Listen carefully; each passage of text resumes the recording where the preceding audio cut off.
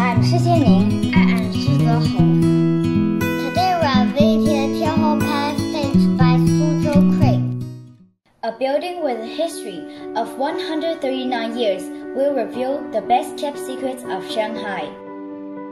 The name Tianhou comes from the goddess Mazu, who protects people at sea.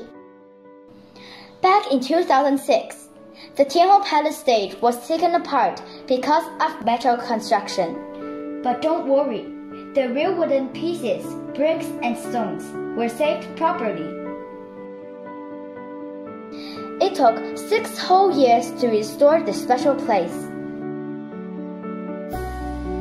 Look at the beautiful wood carvings and fine buildings. Preserving old buildings is a way of recycling on a large scale. The main hall used to be there was moved to Songjiang.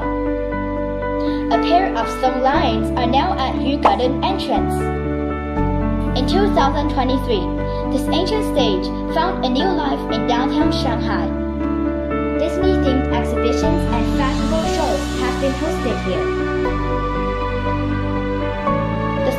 The past continue to light the way to the future. This is